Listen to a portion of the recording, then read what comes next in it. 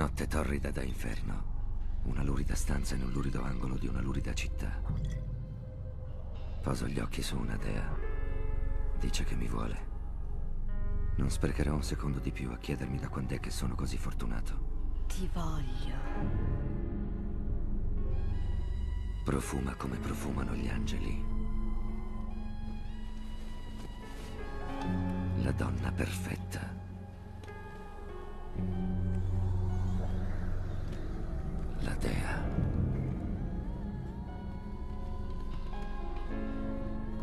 Ti desidero. Goldie.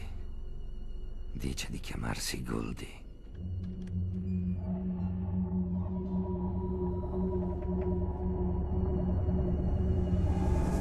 Tre ore dopo mi sento la testa di svariate taglie più grossa, quella morsa gelida alla bocca dello stomaco. E capisco che Goldie è morta. Non un segno addosso. Bisognerebbe tastarle il polso o notare che quei seni perfetti non si muovono come dovrebbero se respirasse. È stata uccisa e io ero qui quando è successo, accanto a lei, ubriaco fradicio come lei. Dannazione, Goldie. Chi eri e chi ti voleva morta? Chi eri, a parte un angelo misericordioso che ha donato a un perdente nato come me la notte della sua vita? E non certo per la mia bella faccia. Allora perché quello squallido locale? Perché tanta gentilezza, Goldie?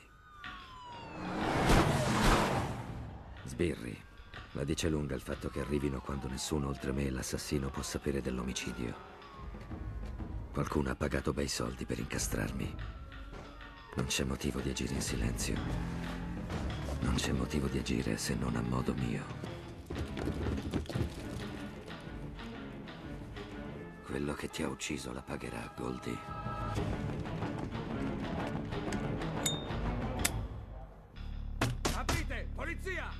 Arrivo subito.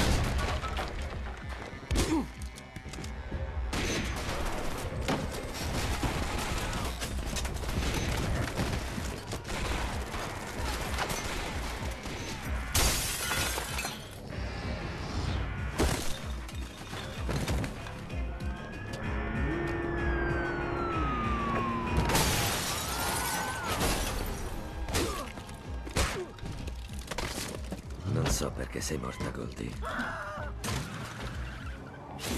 Non so perché e non so come, neanche ti conoscevo prima di stanotte. Ma hai portato la luce nel mio momento più buio. E quando scoprirò chi è stato, non sarà rapido e indolore come è stato per te. Sarà un'agonia brutta da guardare, come so uccidere io. E quando i suoi occhi si spegneranno, l'inferno in cui lo spedirò gli sembrerà un paradiso. Ti amo, Goldie.